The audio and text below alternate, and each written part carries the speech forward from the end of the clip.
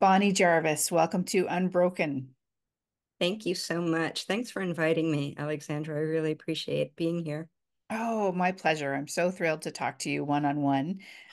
We've been in events together. I I think I was trying to recall when that was. I think it was a class with Kathy Casey. Were you? Yes. Okay. Yeah. Yeah. Yeah, that was last year, I think. But anyway, so it's lovely to talk to you one on one. Yeah, same. I know. I, I keep seeing your name around the community. So I'm glad that we're getting this opportunity. Me too. So let's begin. Tell us about your background and how you discovered the three principles. Okay. Um, well, you know, like so many people who have come across the three principles, I was looking around for a very long time.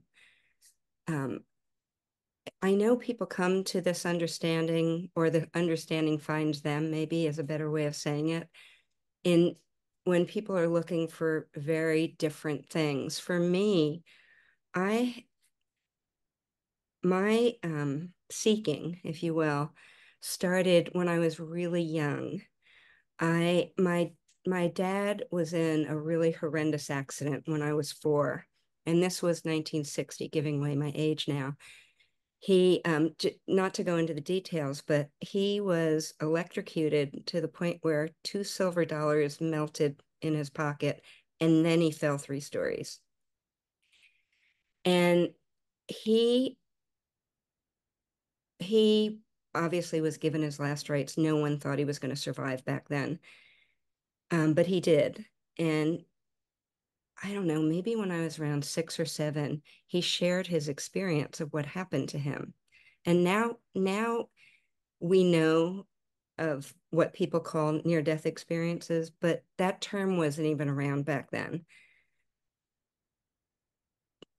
And I don't really know what it was he said that impacted me so deeply, but I just I think I was I was thinking of it as the quality of what he was sharing just touched me so deeply that I knew this physical reality was not all there was, but I didn't know what else, you know, what else was out there.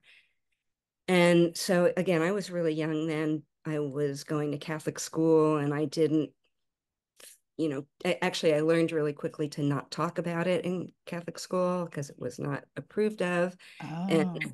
it wasn't a well-known thing. And I think that that experience um, made me, I guess, a, a secret seeker. Mm. so I really, I, I looked at so many different things. I dipped my toes into so many different things. Different once I got out of high school, different religions. I, you know, what I sought out channelers. I I um, did different self help programs that were spiritually oriented. Um, I I did a spiritual psychology master's degree. Um, you know, it, this was over a period of like maybe well, how long? Forty ish years, and um, the in the spiritual psychology program, the organization about 10 years after I I graduated from there, they were doing a coaching program. And I had just, well, I should say my other parallel life was that I got a master's degree in computer science and worked in many corporations and definitely was a secret seeker through that because it was okay to be in a religion, but everything else was very woo woo. So really didn't talk about anything. Um, but I would pop in and out of corporate America jobs. It was it, you know, at that time in the 80s and 90s and even early 2000s, it was very easy to leave one job and find another because not a whole lot of people knew a whole lot about technology then. And so in 2013, I decided that was it. I was leaving corporate America for the last time. It was not where I wanted to be. And um, one of my very, very close friends uh, was became the admissions director of, of the organization that ran the spiritual psychology program. And she called and said, Well, if you don't have any plans, which I didn't, I, I just knew I didn't want to continue on the path that I was in corporate America. she said, you know, why don't you take this coaching program? And I was like, mm, okay, have the time, have the money, I'll do it. Turned out to be the best thing ever because one of the facilitators um, introduced a little video of someone talking about insight. And at the time, I had to go research everything. So again, it was 2013. There wasn't a whole lot on the web at the time, but I did manage to track down what the three principles were. And it was on a Wikipedia page of all things that I was reading it and and it just hit me. Like oh this is what is before all of those other things that I was looking at all of those paths that I took. I couldn't get to the beginning of them because there was usually a lot of things to do and and uh, so I you know follow something for a year or two and then look for the next thing and and I won't I can't say I understood anything that I was reading, but I just had a knowing. So would you like me to keep going from Yes, please. Yeah, yeah. so um again, I I was following breadcrumbs really and I heard, um, I kept looking and looking. And again, 2013, there were some videos, but there wasn't a whole lot out there. And I finally came across that there was a conference going on in St. Paul, Minnesota, like a month later. So I hopped on a plane and I went to that. And then um, that led me to meeting the woman who uh, would organize the the three. It was a three PGC conference, and the woman that was organizing them lived near me. So we got to be friends. And then at the conference, I believe it was there, I learned that Christine Heath, um, who is one of the original board members for 3PGC and still is on the board, was doing a workshop in Hawaii. And I was like, oh, I can do, I can go there. I'm not working now. So I went, I, I think it was like September, October was the conference. And then November was this workshop. And then I learned about the Pranskys um, doing the first um, practitioner retreat in February 2014, went to that, then went to Salt Spring Island. And then I volunteered to help with the next um, in person conference that 3PGC was doing and got to know Chris a little bit more. And, you know, looking back, it was it was so much following that little voice that said, Yeah, do this next, do this next. But I think when it was happening, I wouldn't have been able to tell you that's what I was doing. Um, so I think it was Chris that asked me, maybe this was 2015. They were trying to start a free webinar program and it was sort of a start and stop. And she asked if I'd be interested in volunteering to do that. So I, I did. And and then it turned into one from one a month to two a month and that, that program is still running. And then the the woman who originally did their newsletters and updated the first website was leaving and and that's when i actually went to work for 3pgc very part-time and learned more about um, the organization and then had a ton of ideas about what we could do online because that was my background.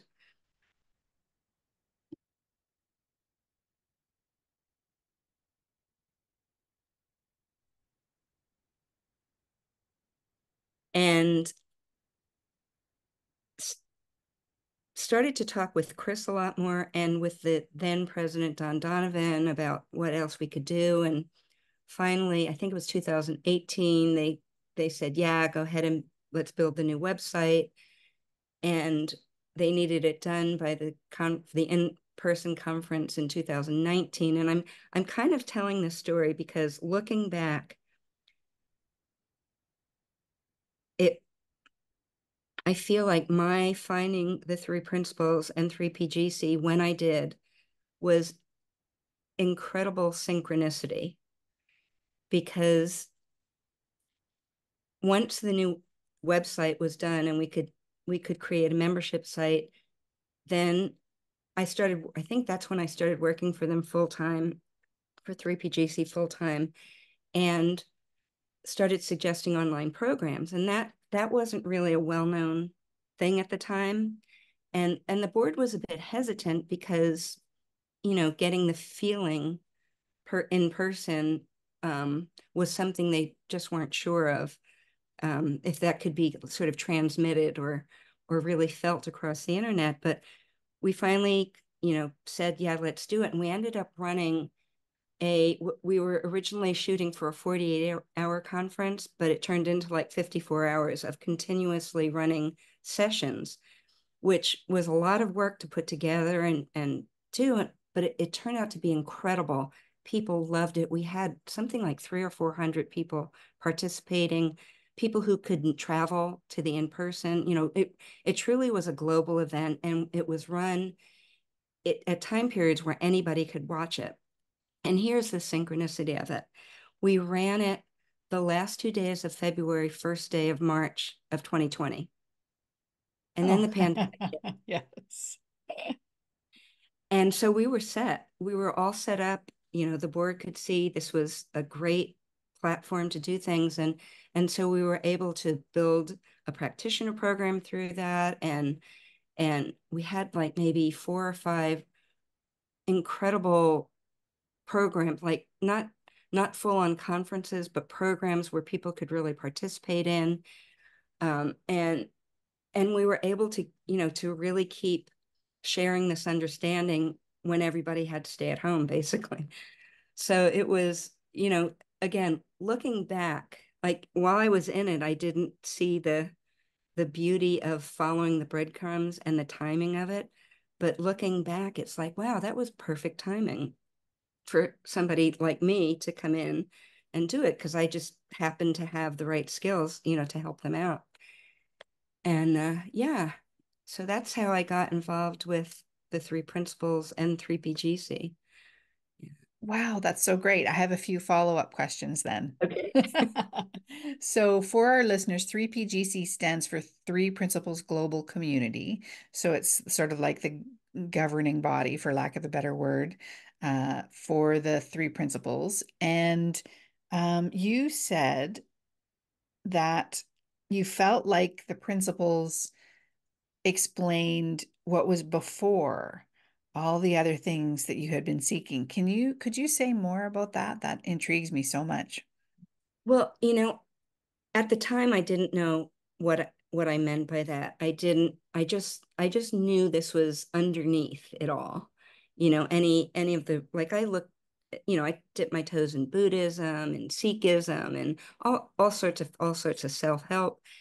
And I knew there was something more to all of those things I was looking at, I just couldn't get to it mm. for whatever reason. And and now the words that I would put on it and now what I understand of it is that the three principles truly um, are the formless principles that explain the human experience. So those those are the words I would have put on it now. But at the mm-hmm. time, I didn't have those words. Yeah.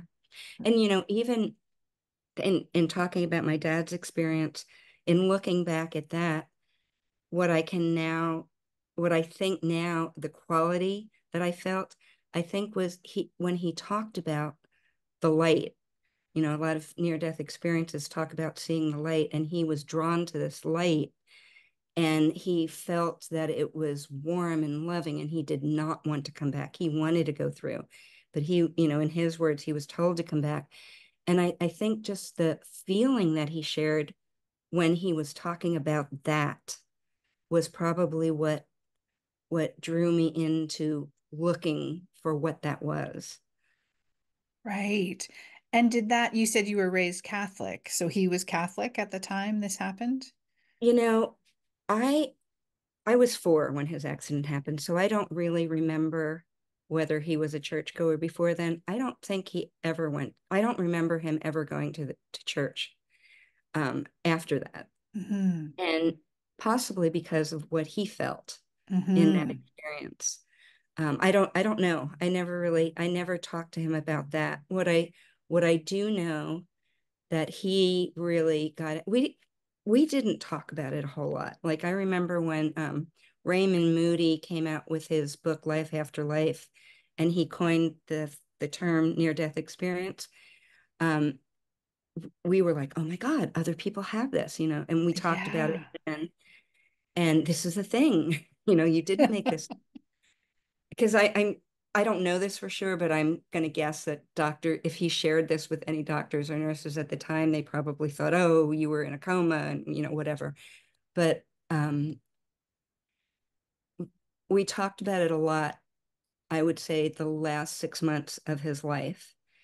And what what it really brought for him that I got was, and he he lived. This happened to him in 1960. He passed away in 98. So he lived a long time after that. And, um, but he, what it really gave him was that he was not, he did not fear death. He knew, like, I remember talking to him and he said something like, no, I know where I'm going next. Like, yeah. I, I've already felt that, you know? So that was, you know, that was uh I think beautiful. And I think I think that's one of the things he gave me is that I have never had a fear of dying either. Mm. Not I'm not really crazy about having to go through what you might have to go through before that. Right. but there can be a lot of suffering in that. But yeah. Yeah. But and and with the understanding of the three principles, that might even give me a different perspective of that statement. Yes. You know, yes. said that off the tip of my tongue, but in reality, this understanding and and constantly looking and seeing things more deeply, seeing new insights. It it you you come back with a a different perspective on the same thing. So Yes, absolutely. I've been thinking about this a little bit lately as well. The whole, um, yeah, I feel the same way that the idea of death doesn't bother me at all. I'm interested in, you know, what that looks like and the steps leading up to it. I, you know, I hope they're not too painful or terrible. And then, you know, because our experience does come from the inside out, I realize that it is possible to experience peace no matter what we're going through. And yeah, so all of that is just so interesting. I could talk about that for hours for sure. Yeah, that could be yeah. a whole other podcast. Yeah, that's right. yes, yeah. Well, what a fascinating experience your dad went through. And just that idea that he he must have thought he was he was alone in that for so long. And i imagine yeah coming from a catholic background too he he was probably very anxious about ever bringing that up with anybody you know that he, any adults i guess i should say that he knew. Um yeah wow fascinating really really interesting. Thank you for sharing that i appreciate yeah, it you're welcome. And it makes me wonder too about his you know any conflict that he felt between you know about that experience. Yeah anyway fascinating. Yeah um there's, there's so much it, you know i can look back and say oh i wish i would have like been in this place where i am now to ask him more questions.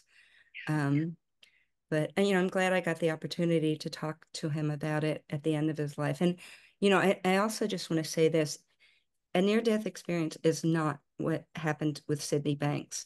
I, right. I remember sharing this with um, some one of Sydney Banks' original students, and and I kind of got corrected. It's like this is not what happened. It's like no, I didn't mean to suggest that.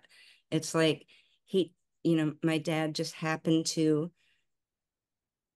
be, be leave his body and see that there was something else. But what the experience that Sydney Banks had was completely different and deeper and amazing. Yeah. Yes. Yeah, no, that's a great clarification. Thank you. Yeah. It's important for people to see the difference.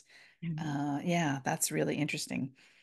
So, so you worked for the 3PGC for a while, and I want to ask you two questions about that. What And I think you've already addressed the first one. Actually, I was going to ask you what did the job teach you? And you've already talked about looking back and seeing the way that life was leading you in in a direction and and it sounds like you didn't fight that too much. You know, there wasn't too much fight in you. Is that true?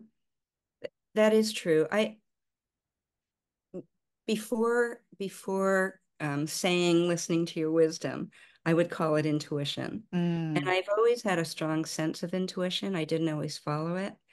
So following the I think I, I was using the term following the breadcrumbs and just listening to what was coming next was was not um, a huge jump for me. Mm.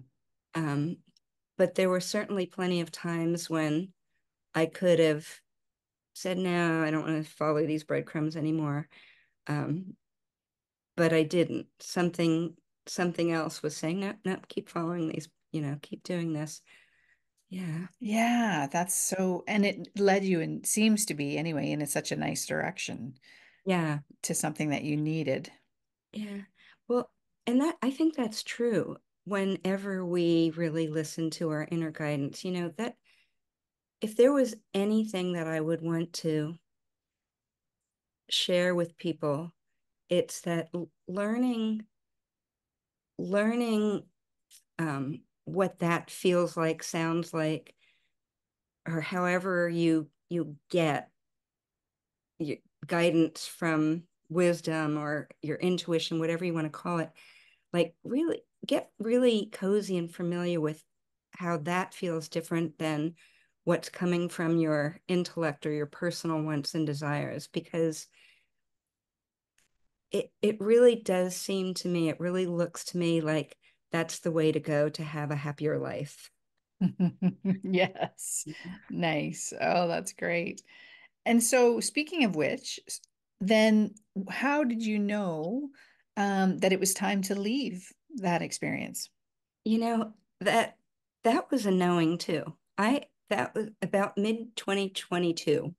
I started to get nudges like, you know what?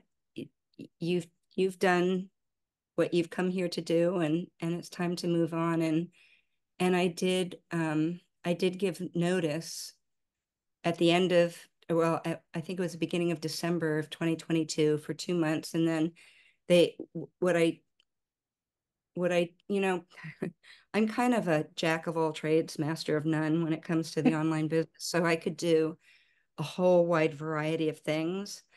But in replacing me, it took a little longer because because um, you know they ended up having to bring on a number of people. So I didn't leave in the beginning of 2023. I, I waited until everything was completely set up and then I left at the end of I think it was September 2023. Mm. Yeah, but again, that was that was a nudge, and I I didn't have anything planned next. Mm. You know that that's the that's the um that that's the part that can be really scary. It's the part people say living in the unknown. I, I guess that's what it, that looked like to me. But I had done that so many times in my life, just like left jobs without really knowing what was going to be next, and everything worked out okay. So I I felt okay doing that, and um, and it's really it, it it's been incredible um, what's unfolded since then. I um I was I was pretty busy minded when I was working for 3PGC because I was doing a broad range of of things behind the scenes. You know, I I was um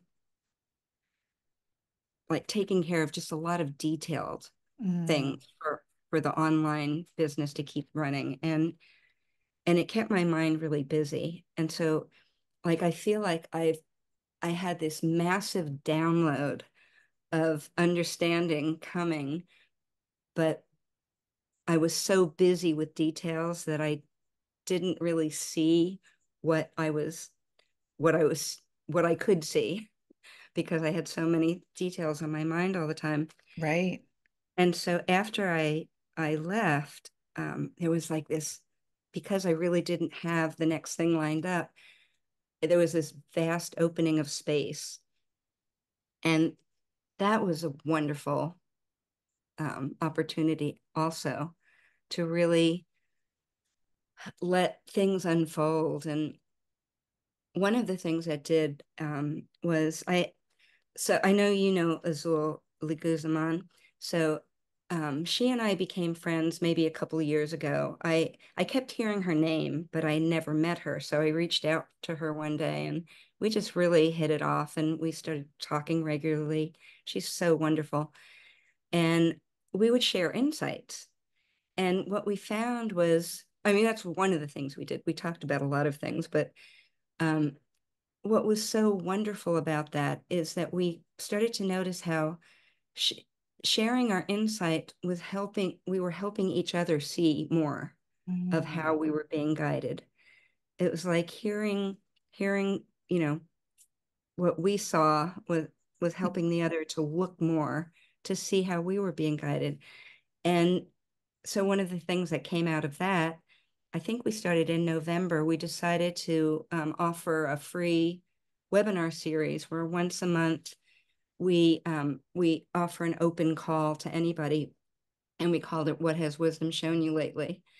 and and it's just an open discussion where everybody can share or just come and listen. And so, you know, and then then what grew out of that, which I honestly did not really expect at all. I I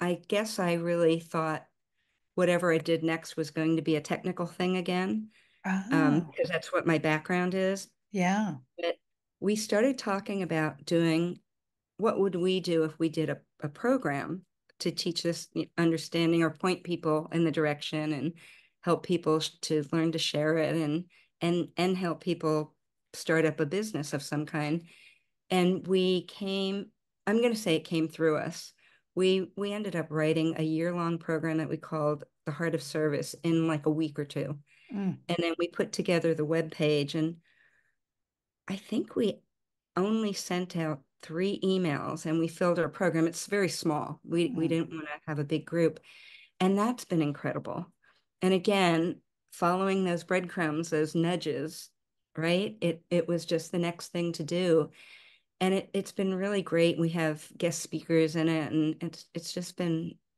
a phenomenal um, program so far. And p- the participants seem to really be enjoying it as well. And we're in like the third month of a year long program. So, mm.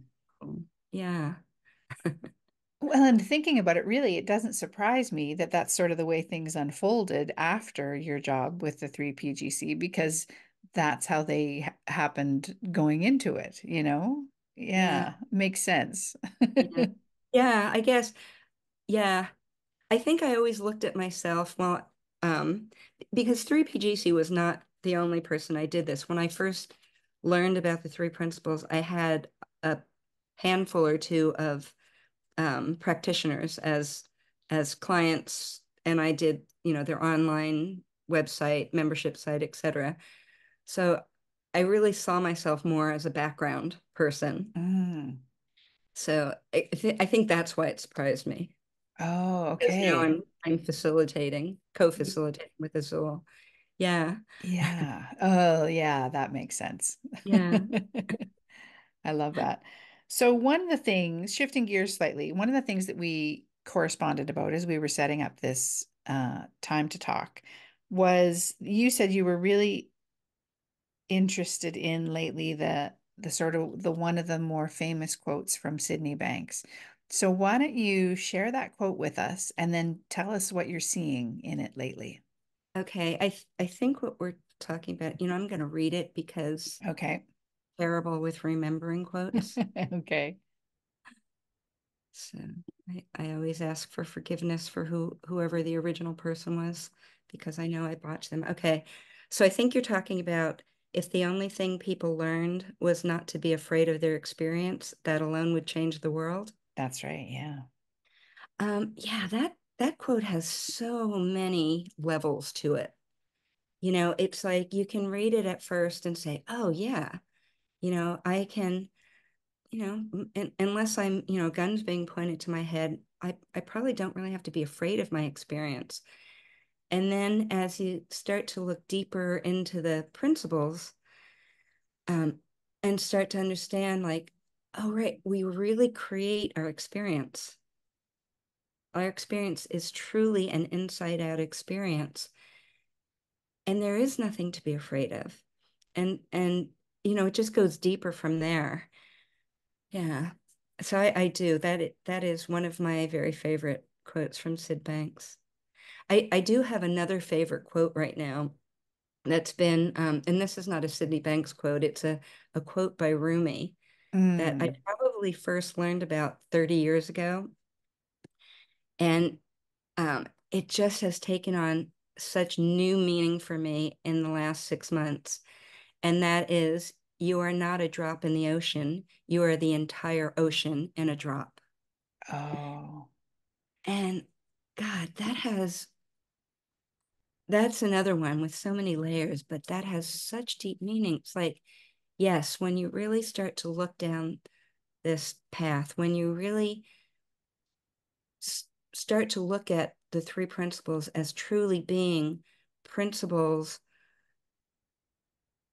in the formless that create everything and that we are part of and we are you know people people say and i guess Syd said this as well that he would i think he would use the words divine mind thought and consciousness as opposed to personal mind thought and consciousness but it's really one thing and we just have the opportunity to share in that and to um, listen to the wisdom that comes through that and and so we truly are the entire ocean in a drop. Like that God, that's just so um, delicious. yes. There's so much there, isn't there? And it yeah. when I heard you say that quote, I felt that thing that happens when something makes the leap beyond my logical brain, you yeah. know, I, and uh and it resonates, you know, within you. I loved the that feeling. Yeah. Yeah. Yeah. Yeah, that's lovely. so, um you mentioned the the webinar series that you did with Azul, and I will link. Azul's been on the show, so I will mm-hmm. link in the show notes to her episode. Um, so why don't I ask you what has wisdom shown you lately? Well, that you know, that is a great question. and um, so let's see how to describe this. So, what I've really been seeing is that we all have we have so much that we can see, right? If if we listen to our inner guidance, to wisdom. We also have conditioning, right? But beliefs that are hidden that we don't only we don't even realize they're there until a light is you know is shown upon them and then it's like oh and i had you know as my mind got really quiet i guess all the learning that i was absorbing but not really realizing what i was what i was how much I really saw kind of came, brought this, I'm going to call it a bubble of conditioned thinking that sort of unraveled itself. And some of the things I don't even really know what they were, but I knew I felt so much lighter. And it it was um I don't know, I, the latest image I I have of it was like if you know if you have a ball of yarn and you hold one end and you just push it and it'll just keep going until it reaches the end.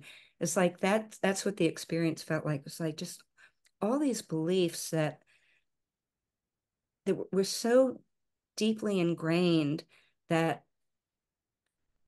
I wasn't aware of how they were con- sort of controlling my life because I would make decisions because those were were I thought were truths, not not beliefs that I could see through, right?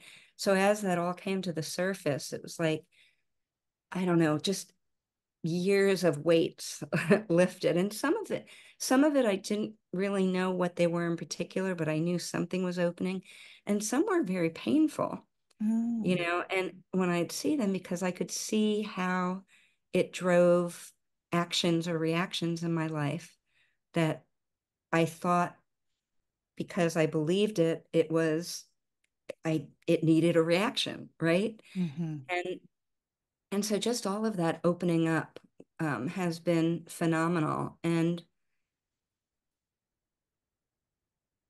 I, I don't know, around two or three months ago, I I feel it's because I let go of this whole, you know, bundle of conditioned thinking that um, what what's what I've been noticing is that the nudges that I keep getting now, it's like when I we all we all seem to feel our feelings in different ways. Some people have very specific things in their body that they feel emo- their emotions in. I don't really. But what I do notice is sort of a, a wave of energy. Mm. So like nothing really specific. But what I've been noticing is is that I'm I'm getting um, nudges quick quick more quickly as that wave of energy comes. And it it's the same nudge very often. It's come back to the moment come back to the moment. And i got to tell you like that is the most i don't know it's it's been the most incredible experience to keep getting reminded to come back to the moment when is i mean i get them when i'm starting to you know have some kind of judgment or something going on because in the moment that doesn't exist. Mm.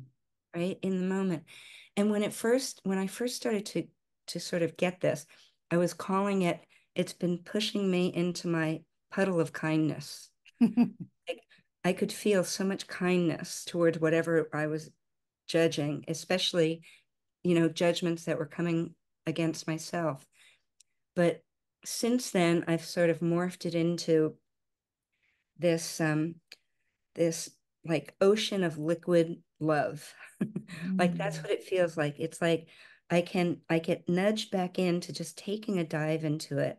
And even if it's even if it's just for like a nanosecond and then i pick up that that thinking again i come out of it in such a with such a different perspective like the feeling changes. And uh, yeah that's just been that's it's been luxurious almost you know? And every once in a while i get to stay in it more than a nanosecond. Like people will Mm. call it being in the flow and i i can you know i can be there for a little while longer before before thinking takes me back into whatever i've decided to make up.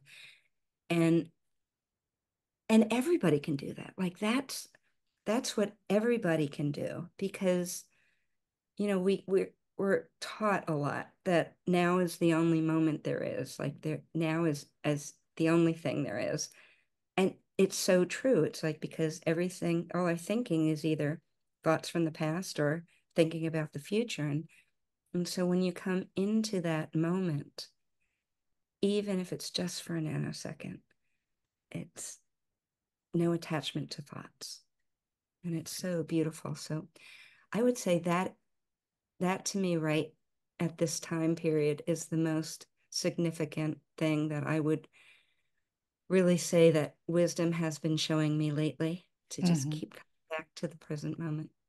Mm. Oh, that's beautiful.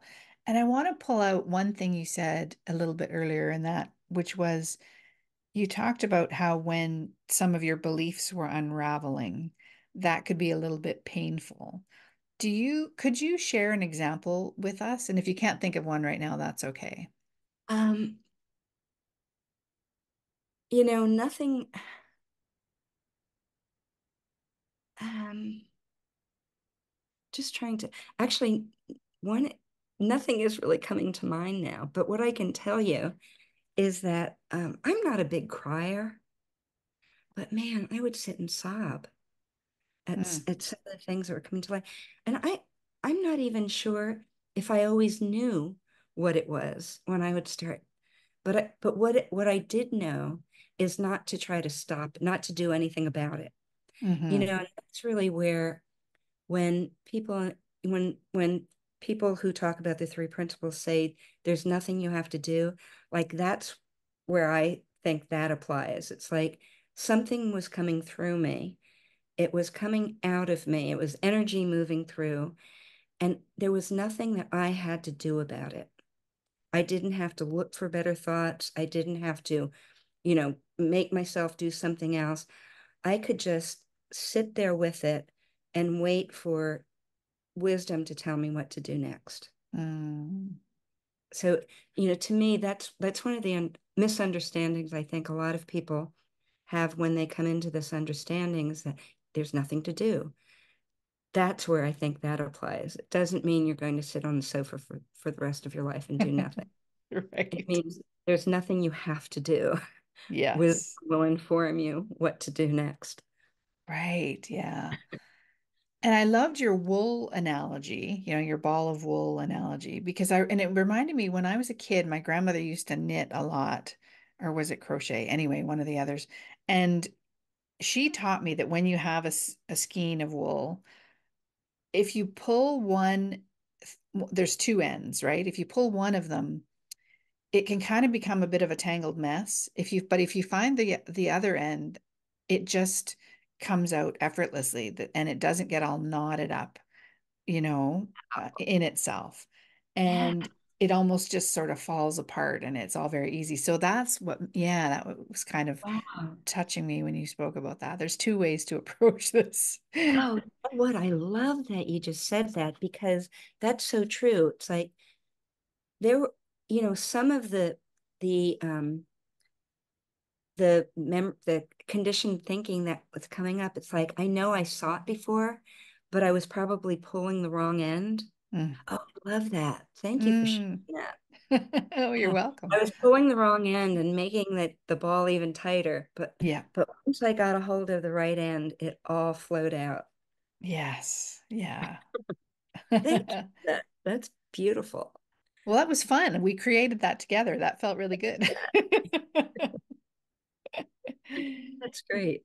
Yeah. Well, as we um, come towards the end of our time together, I want to ask you is there anything that we haven't touched on that you'd like to share with our listeners today? I, I think I already said this, but this, this would be what I would share. And that is, you know, if there's if there's anything that you set an intention to do, it's to really get cozy and familiar with how you hear wisdom or see wisdom. Like i i'm sure it comes to everybody in different ways. And even when i think about how i connect with that sometimes it's just a knowing. There's no words. I just know what to do next. But i've also had times where it's yelled at me because I wasn't following it, you know, so I heard words. So it eh, or I'm sure it probably comes to people in feeling too. It's like how however that is, like if if you can get familiar with that, with with listening to that, hearing that as and distinguishing it from your personal wants and desires, I you know, it just helps life unfold in a magical way mm. you know really mm. magical way and there's no techniques and you you can't make it happen i think you can set an intention or create an environment with being open but as far as i'm aware there are no there's nothing you can do to make that happen other than being open to listening to hearing it Right. Oh, that's lovely. Thank you. Thank you, Bonnie. That's great. So, where can we find out more about you and your work? Um, I do have a very succinct one page website. Actually, it's two pages now. It's bonniejarvis.com. Okay. Uh, I I had a website years ago, but once I started working for 3PGC full time, I closed it down and and so I've recently rebuilt it. So because I do, I I have a couple of of things coming up. There's um the What Has Wisdom Shown You Lately is something that Azul and I do for free every month.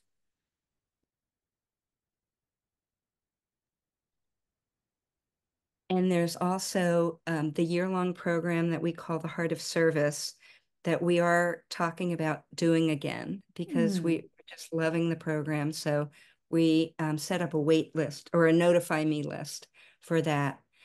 And then um, I'm also fortunate enough to be um, doing another program with Kathy Casey and Mike Hurd, and that is called, hope I remember this correctly, stress and anxiety are just an illusion. It's not what you think, or is it? and that um, I don't have all the details of that. I believe we're going to start in July, and it will be four four sessions over four weeks. But more details will will come out of that soon. So, so that's what I and I do. I I have been doing um, one-on-one sessions. I've been calling them heart-to-heart session conversations. Mm. So hmm. that's that's all you can. And there's a way to contact me on that website as well. So. Okay, great. Well, I will put a link uh, in the show notes to your website, oh, bonniejarvis.com. Yeah, thank you. Well, yeah. thank you so much for being with me here today, Bonnie. It's been just lovely chatting with you. Yeah, it really has. Thank you so much. And you know, I really hope I've I've always considered myself somebody who was more like um, numbers, math, and and coding oriented, and and not very eloquent with words. Um, so I hope I was able to share in a way that at least one person is touched by it. If if just one person sees something this, I'd be really, really deeply grateful. So thank you so much.